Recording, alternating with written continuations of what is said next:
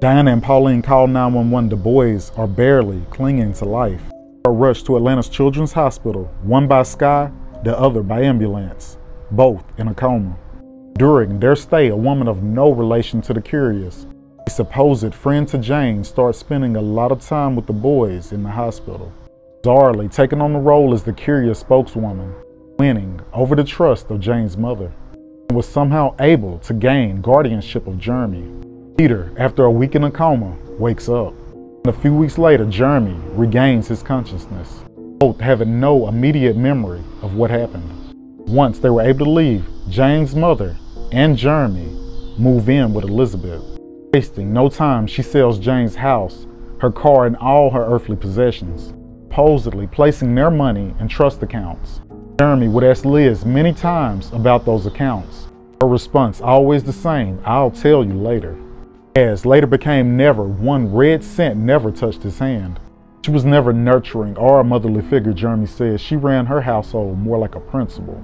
Strict and emotionless, Jeremy had to ask to do everything, doing nothing without her permission. However, Elizabeth was never named as a suspect.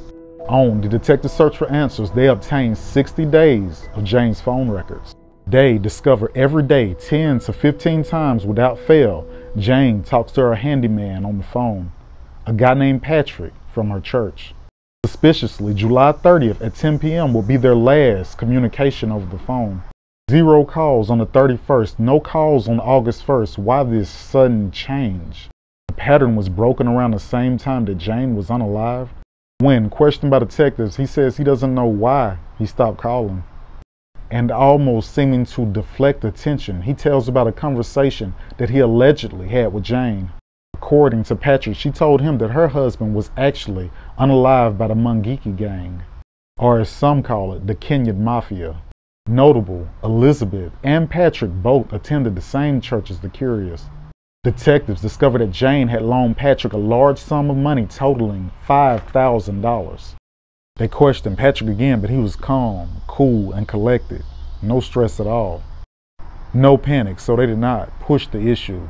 Strange, Patrick alleges that she was not even pressuring him to pay back the money. So that couldn't have been what all of those phone calls were about. They also found jumbled up paper on the table across from where she was murdered with numbers equaling to the sum of $5,000.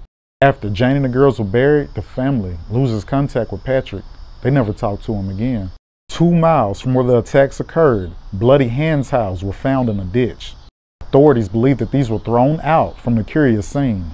But under civil liberty protection, investigators are prevented from running the profiles of all convicted felons through the DNA database meaning the answers in this case could be all a matter of forbidden science. According to some reports, Jane was about to receive a large sum of money. This was unable to be completely ruled out considering that Jane had an account in Kenya that is inaccessible by American authorities. Without closure, the door remains open. Without justice, these hearts will never be mended. I am but a voice, but today the voiceless have spoken. Justice for the Kurias. For more on this story and others like it, please take a second, click this link, and subscribe to my YouTube.